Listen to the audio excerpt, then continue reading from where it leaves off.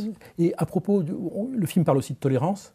Euh, dans votre film, quand on, quand on, le voit, un point sur lequel on n'a pas évolué du tout entre les années 70 et aujourd'hui, c'est la question noire, le racisme. Le, passage où on voit Fred Williamson et Charles Burnett euh, aurait pu être tourné dans les années de ségrégation alors qu'ils sont tournés en 2018.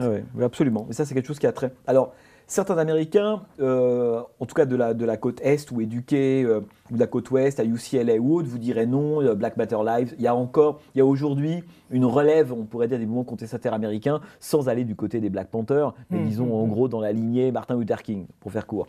mais en même temps, je pense que c'est pas vrai.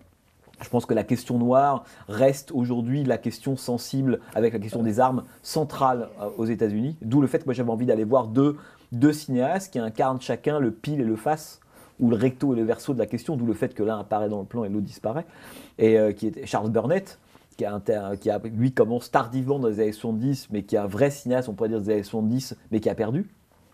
Euh, il a quasiment disparu des radars critiques, Charles Burnett. Il a beaucoup de mal à trouver des films, mmh. des pour faire ses films. Mal distribué en France. Ouais. Et de l'autre, c'est Fred Williamson, à celui qui ne pense pas, euh, qui pense pas noir ou blanc, mais qui pense green, comme mm. il le dit.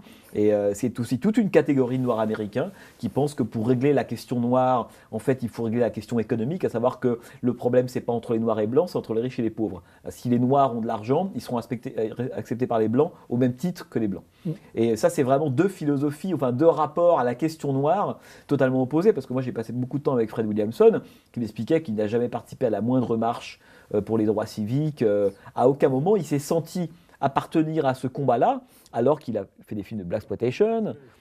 Mais lui, pour se considérer que la Black Exploitation ou les rôles qu'il a tournés, le rôle de Ziammer, le marteau, toutes ces choses-là, c'était un, moyen pour lui de s'élever sur l'échelle économique et s'élevant sur l'échelle économique, de régler la question, euh, la question raciale. Voilà, ça c'est une convie. Et beaucoup de Noirs américains pensent ça, et beaucoup de Noirs américains pensent exactement le contraire, comme euh, Charles Burnett. C'est pour ça que vous avez raison, cette question, elle a quasiment pas bougé, pas bougé aujourd'hui aux États-Unis. Ouais.